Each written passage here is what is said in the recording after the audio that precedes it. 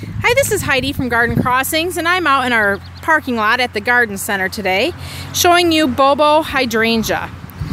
Bobo Hydrangea is about three foot tall and three foot wide. It's a perfect little plant for borders. We're using it in our parking lot because it doesn't get so tall, so it doesn't block, the front of our building. I'm going to just show you kind of how we have these planted in our parking lot. We have them about every 10 to 12 foot, and then between them we have a planting of the Supertunia Flamingo. We love the contrast of color that the pink and the white have with each other. Bobo hydrangeas bloom off of the new season's growth, so if you choose to trim them, you may do so in the fall or in the early spring. These nice white flowers will turn to a dusty pink color as the season progresses.